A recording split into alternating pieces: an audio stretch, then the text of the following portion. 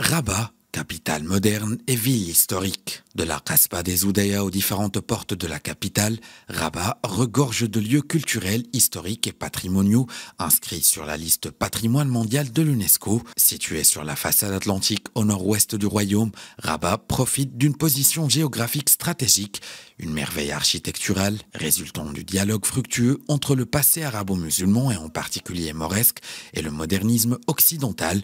Rabat est d'ores et déjà un lieu de brassage culturel sans pareil.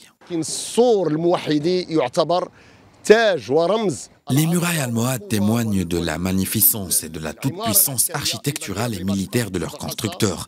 Ces murailles se distinguent aussi bien par leur solidité, leur épaisseur et leur aspect, un joyau du patrimoine qui, grâce à un savoir-faire multiséculaire, a su majestueusement traverser les siècles.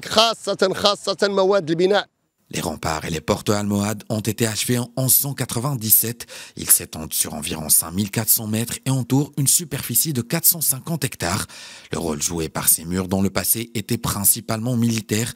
Désormais, ils revêtent une importance urbaine, culturelle, patrimoniale et historique. On vient souvent visiter les monuments de notre capitale. C'est un patrimoine auquel on tient énormément et on aimerait que la tutelle fasse encore des efforts pour préserver cet héritage de tous les temps.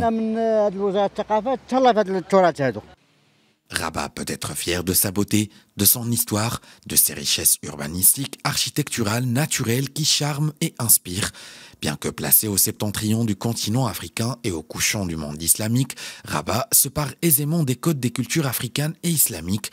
Ce privilège lui a valu en 2022 d'être la capitale africaine de la culture et la capitale culturelle du monde islamique. Rabat est aussi considéré comme un patrimoine humain mondial qui brasse les divers aspects d'authenticité et de modernité.